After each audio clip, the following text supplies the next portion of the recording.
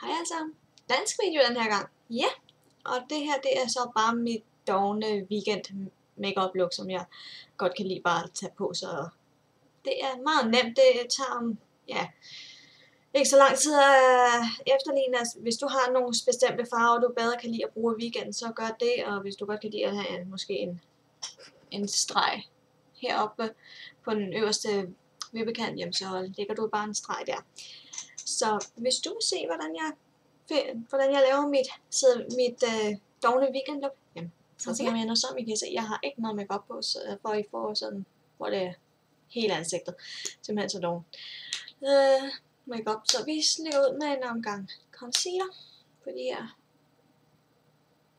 grimme mørke render, som jeg har mellem brynene, for at der kommer lidt lys derimellem og ovenover brynet, så der også lidt highlight, og så rundt om næsen, næseborene, for der bliver jeg en ret rød. Og så lige på nogle urenheder, så på mine kinder, som godt kan lide at blive meget røde. Og så på den anden side.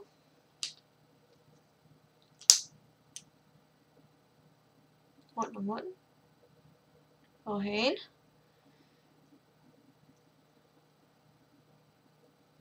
Så lidt herude, hvor jeg har nogle små ar.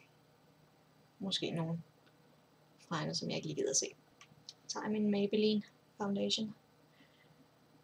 Børste, pensel, og så del, deler jeg ellers bare concealeren ud, og så er jeg også op over mit øjenlåg. Så der også kommer en lille smule lys på brynbenet.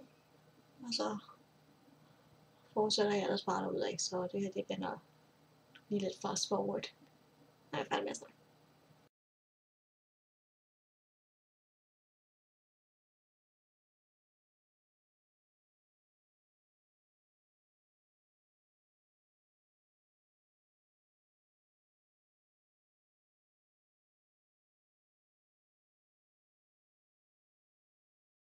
Så kommer vi til næste punkt, og det er pudder. Jeg springer simpelthen bare foundation over, for det er der ikke behov for sådan i weekenden, når man bare går hjem. Så jeg tager min kabuki og min pudder fra Gosh. Bare sådan rundt. Og så lægger jeg det ellers på. Sådan presser det. Og så fordeler jeg ellers.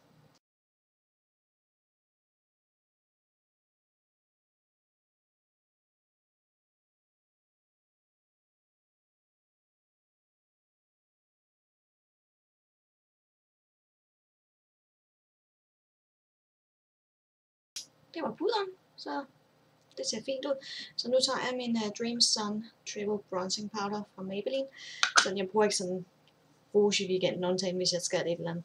Så jeg mixer bare min skæve puderbørste, lægger på kæmbenet, simpelthen fordeler det rundt. Og så kommer lidt farve til ansigtet, så jeg ikke bare ser fuldstændig ud som en, et lig, faktisk. Og sådan så der er liv. Og også lidt ned ad halsen.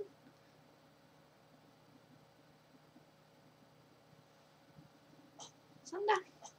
Så tager jeg min øjenbrynsbørste. En spoolie, hvis I foretrækker det ord. Jeg lige børster brynen igennem.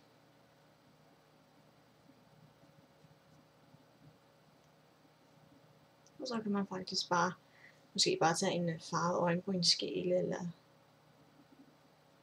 hvad det nu skal være, og så vil brynene være der, men da jeg godt kan lide at se min bryn, så bruger jeg min, min brynkit fra Gosh, og så tager jeg min øjenbryn pensel, og så bruger jeg bare de her to farver. Så jeg bruger, ja, det bliver lidt et fast forward, så jeg kan se, hvad der sker.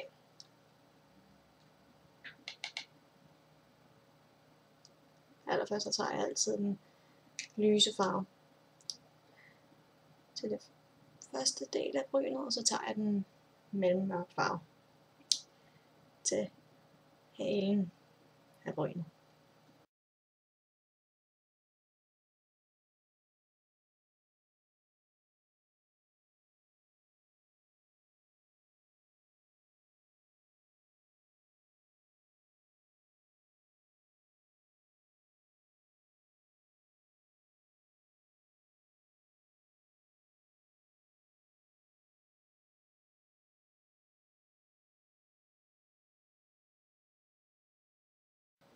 Nu har jeg bryn, så nu tager jeg lige min brynbørste igen lige og børster brynene igennem. Meget så farverne blander sig, så får jeg også lige noget overskudspuder væk.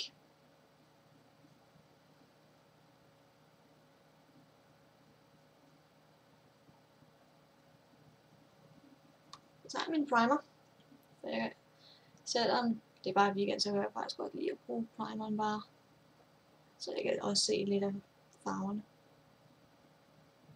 Og på med den. Også lidt nedenunder.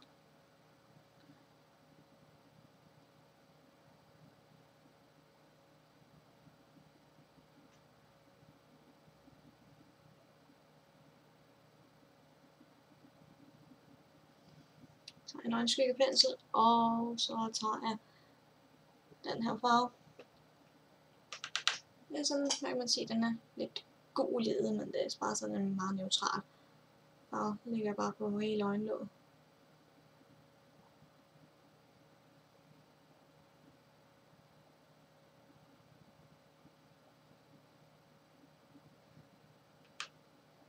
Også lige på den anden øjenlåg.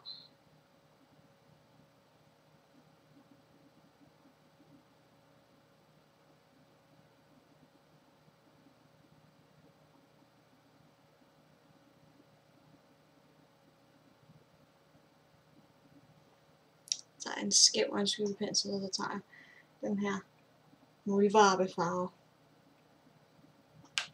Det er den, der hedder taupe på, på engelsk. Så lægger jeg den ellers bare på min, på min, ind i min globelinje. Og så kommer lidt dybt tåren. tåret. Laver et lille V her. Og så går jeg også lidt nedenunder.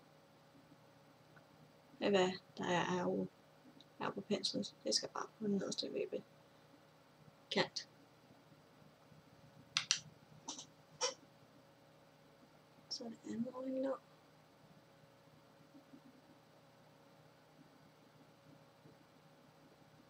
Bland den lidt ud. Og påfør på den nederste vippekant. Så har jeg min store fladbørste og min sædvanlige highlight farve.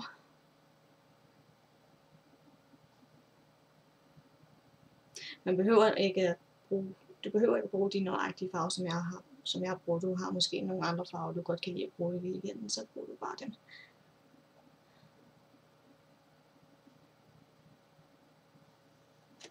Kommer vi til eyeliner. Det jeg bruger min Gosh eyeliner i farven brown, brown mener jeg det er. Ja, Truly Brown. Den er vandfast. Jeg lægger ikke noget på den øverste øh, vippekant. Jeg tightliner bare. Løfter op i mit øjenlåg, så tegner jeg ellers bare på den øverste vippekant. Så tæt på vipperne som muligt. Man kan også bare presse den op med øjenlåget lukket. Og så ligger den også på den nederste vandlinje.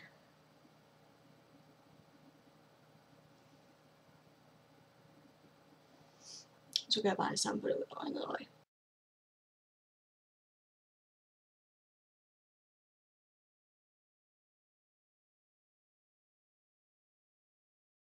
Så krøller jeg mine vipper. Så holder lige sådan godt vel 10 sekunder. Og bevæger mig også op for at få et godt krøl.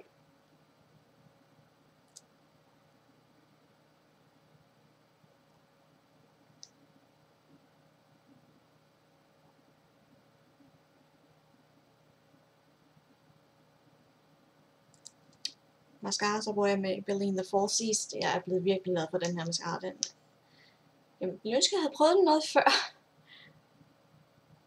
Men jeg er virkelig blevet glad for den her mascara. Den er så god. Giver volumen og lige det ekstra længde, som jeg godt kan lide.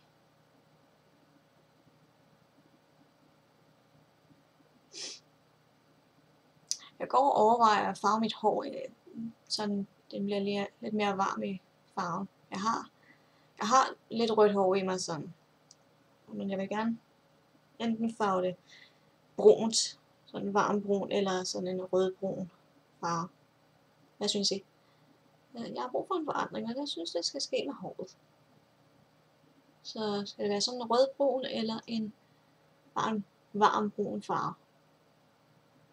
Skriv det i kommentarerne, hvis I kan komme til, ellers skriv en besked til mig herinde på YouTube.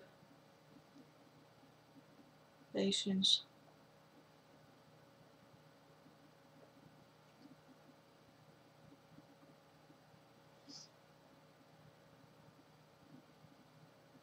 hvilken farve jeg skulle farve mit hår. Så er vi jo næsten færdige. Vi mangler bare læberne. Jeg tager bare min Body Shop Bon Lippy læbe på mad. Det her det er så jordbær. Jeg har haft den i ja, to år eller sådan noget. Hvis ikke mere. Bare på med den. Man kan, du kan også bare bruge en øh, uh, fugtgivende læbestift, hvis du vil det. Jeg, kan bare godt lide at bruge en læbe på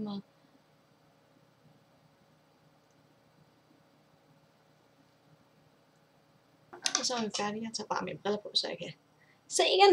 Så ja, det, er bare, det var min dogne makeup, så jeg håber, du er nødt at se den her. Så husk at uh, abonnere, kommentere og like den her video, så, og tjek min Facebook-side ud, og like den, jeg lægger noget op hver dag, så du kan følge med i mit liv. Så jeg håber, at du nød den her video. Nå, det har jeg lige sagt. Så vi ses i min næste video på tirsdag, så have en rigtig god weekend. Hej hej.